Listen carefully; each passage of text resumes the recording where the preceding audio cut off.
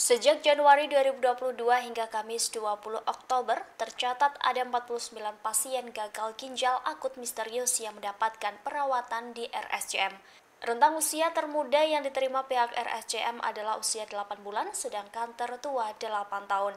Hal ini disampaikan oleh Direktur Utama RSCM Lis Dina Liastuti pada konferensi pers pada Kamis 20 Oktober. Lis mengungkap pasien gangguan ginjal akut progresif atipikal yang datang ke RSCM. Tidak ada yang memiliki penyakit bawaan atau komorbid. Selain itu, pasien yang datang juga tak memiliki riwayat penyakit ginjal.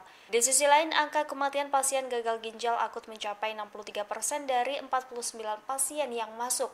Pasiennya hidup dan kembali pulang hanya 7 orang, sementara 11 orang yang sedang menjalani perawatan. Lebih lanjut, Lis menjelaskan pasien yang dirujuk ke RSCM sudah dalam keadaan tidak buang air kecil. Menurutnya, saat tubuh tak lagi mengeluarkan urin, maka ginjal berhenti berfungsi.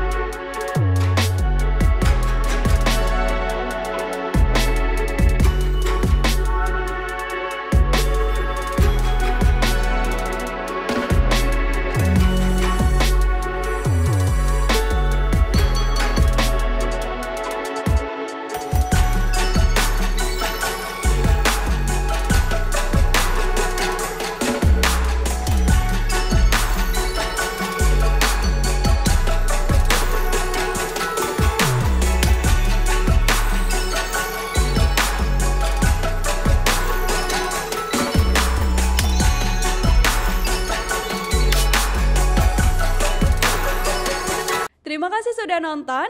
Jangan lupa like, subscribe, dan share ya.